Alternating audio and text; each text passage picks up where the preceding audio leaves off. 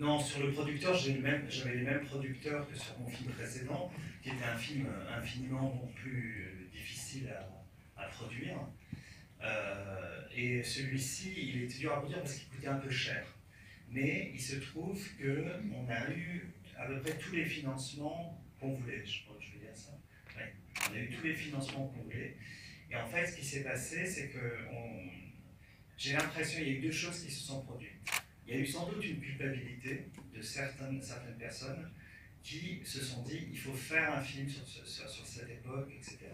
Et qui, se sont dit bon, ben, il faut donner de l'argent pour ce film parce que c'est un film aussi historique, mais moi, si je ne le considère pas comme historique, euh, pour parler de cette période. Et en même temps, je pense qu'Act Up Paris était un groupe, on était, euh, comment dire, on était les, considérés comme euh, un peu douteux, un peu, comment dire, inquiétants, et en même temps, on était assez populaire. C'est-à-dire que les gens savaient que, ce qu'on faisait, c'était tout à fait légitime, même si les gens trouvaient qu'on allait trop loin. Et, c'est vrai qu'il y avait presque, c'était presque comme une série acteur. Les gens suivaient les, actions. Il y avait une action à peu près tous les mois ou tous les deux mois qui passait à la télévision. Et donc il y avait un côté très populaire. Et quand on a parlé, quand on a dit le mot Acte Paris, on n'a pas dit, on a parlé du sida évidemment, mais c'était vraiment axé sur Acte Paris. Les gens ont voulu absolument voir les coulisses du groupe. Ça les intéressait beaucoup de savoir ce qui se passait derrière. Et donc, on a, on a financé le film assez facilement. Et c'est quand même une bonne nouvelle, et politiquement, et aussi, je pense, pour le cinéma français.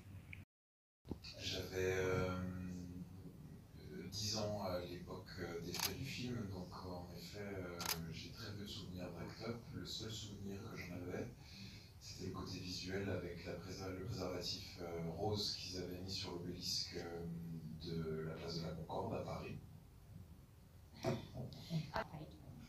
Mais euh, aucune idée ou vraiment conscience de l'identité du groupe, de son discours et de ses moyens d'action.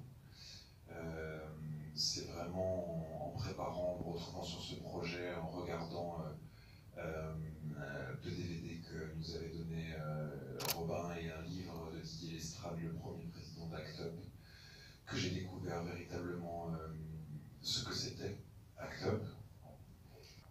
Et je n'ai pas forcément découvert, euh, pour la, deuxième question, euh,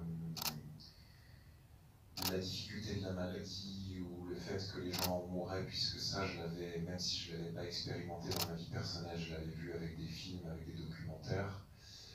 Euh, donc cette réalité-là, je, je, la connaissais, même si je ne l'avais pas éprouvée personnellement.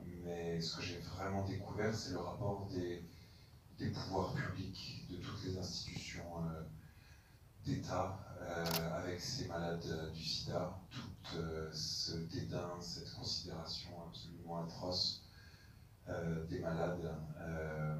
et comme c'était violent, on a pensé que c'était Act Up qui était violent parfois, et j'ai trouvé en visionnant ces images d'archives que c'était vraiment les pouvoirs publics qui étaient d'une extrême violence.